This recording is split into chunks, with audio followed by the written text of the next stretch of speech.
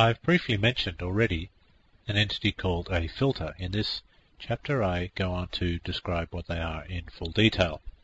A filter is the following. It is a command line utility that has the following properties. As I read out these properties, see if you can uh, relate them to the filter that you've already seen, which is WC. First property is it takes standard input.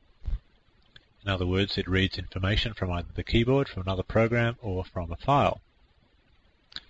Secondly, it performs some processing on the data that it reads. Can you can think what the processing is that WC does.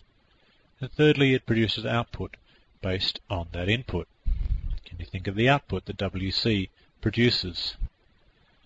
Well, let's have a look at that. WC is, of course, a filter. The processing it, is it performs is that it counts lines, words, and or characters. LS, however, is not a filter. It's not a filter because it takes no input. Let's prove that ls takes no input. We'll just have a quick look. If I type ls and press enter, the program runs, produces output, and I'm back to the shell prompt again, which means the ls program has completely finished, and at no point did it ask me for any input from the keyboard.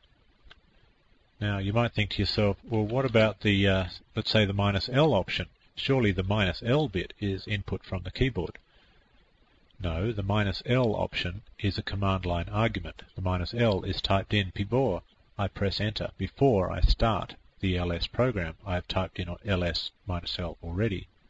Input is defined, I think you'll recall, as keyboard based input that is required after the program has been started. In other words, after I've pressed enter on the command line.